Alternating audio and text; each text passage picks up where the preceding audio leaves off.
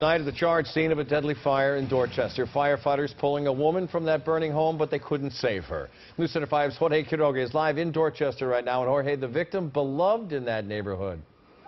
She is a fixture in this neighborhood. And Ed, tonight we're learning what triggered the fatal two-alarm fire here across the street, an electrical short circuit in the first floor apartment where she lived. Crews tonight boarding up the burnt-out house on Tonawanda Street. Neighbors mourning a close friend. I call her sis because I've been knowing her so long. Like family. Others called her auntie or just Miss Mary. She was always a good person, neighbor friendly.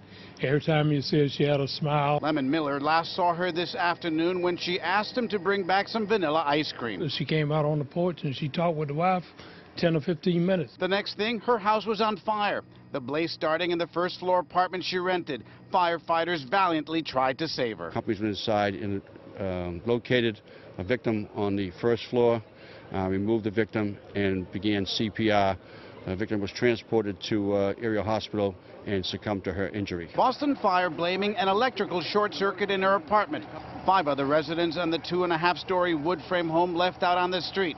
Residents say Ms. Mary was a neighborhood institution. First found out more about it was always from the cops at the voting precinct who were talking about how she kept them out of trouble growing up. She was 75, already missed. Stuff really tough. Yes, it really it, it happened so sudden. I was just talking with her in 20 minutes, 30 minutes, and all of a sudden she was gone.